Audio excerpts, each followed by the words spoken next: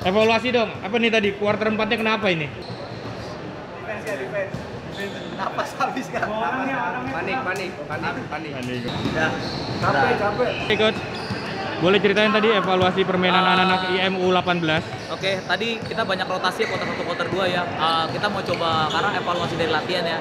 Kita implementasikan ke pertandingan tapi nggak step up uh, yang tadi bilang kan uh, quarter 2 nggak skor ya karena emang saya rotasi sebenarnya jadi kasih kesempatan buat yang yang player sedikit gitu. Tapi tidak tidak berjalan dengan baik dan waktu kotor kan. Uh, effortnya harus harus harus harus juga tinggi gitu. Jadi ya udah akhirnya ada cuma tujuh orang lah yang bisa step up baru itu kita pakai gitu sih. Ini gitu aja sih. Tapi lawannya juga uh, lebih tenang juga mainnya gitu. Jadi saya baru dua bulan lah pertemuannya. Jadi ya perlu banyak pertemuan lah gitu